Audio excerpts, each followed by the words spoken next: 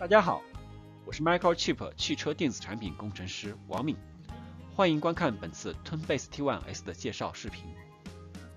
首先，TwinBase T1S 是什么？TwinBase T1S 是一种使用非屏蔽双绞线的单线以太网，其共享带宽达每秒十兆比特，数据以半双光的方式进行传输，环境允许的状况下，最多可连接五十个节点，总线长度可达二十五米。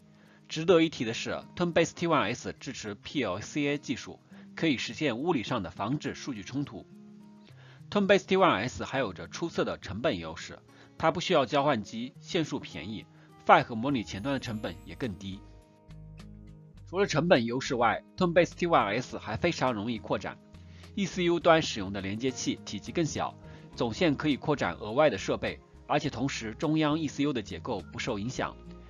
以汽车超声波雷达和短程雷达为例，在基础的包含前部传感器的 Tunbase T1S 网络上，如果要添加其他设备，可以直接连接到原有的总线上去，比如侧面的传感器及后部的传感器。Tunbase T1S 还有助于统一整车的网络架构到以太网。传统汽车网络架构中，低速网络通过网关连入上一级网络，网关连接了传统的网络孤岛。而在以太网架构中，各个模块使用相同的软件协议站和通信机制，不同速度的以太网网络不需要网关就能相互连接。使用 Twinbase T1S 作为低速网络，将全车以太网化的又一大好处是，连接更加方便简单了。不同速度的以太网网络可以共用相同的协议站，标准的 MRI 或者 RMI 接口连接器，只需要不同的线数和 PHY 即可。全车以太网化也有助于集成云服务，复用已经在消费领域被大量验证过的安全可靠的软件协议站。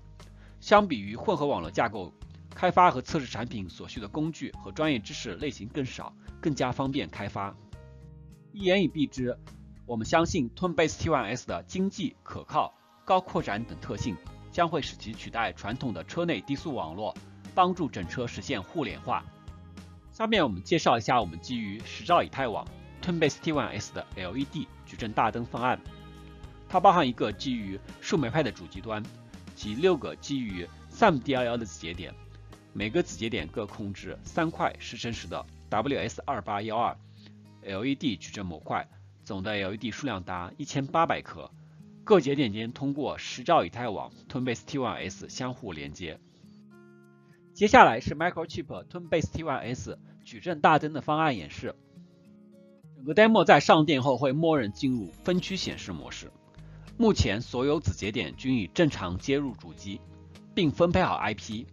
主机显示屏上的六幅动画与六个子节点控制的 LED 矩阵模块一一对应，每个子节点相互独立，可以单独设置亮度、帧率以及切换动画。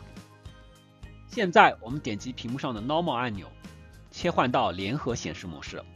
这时候，主机显示屏上的动画效果通过 Tunbase T1S 被分块传送到六个子节点。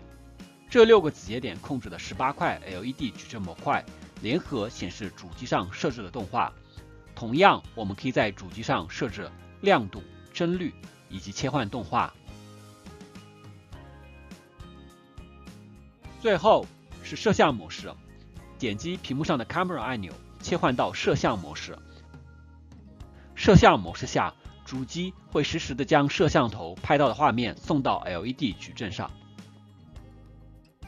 本次视频到此为止，非常感谢大家的观看。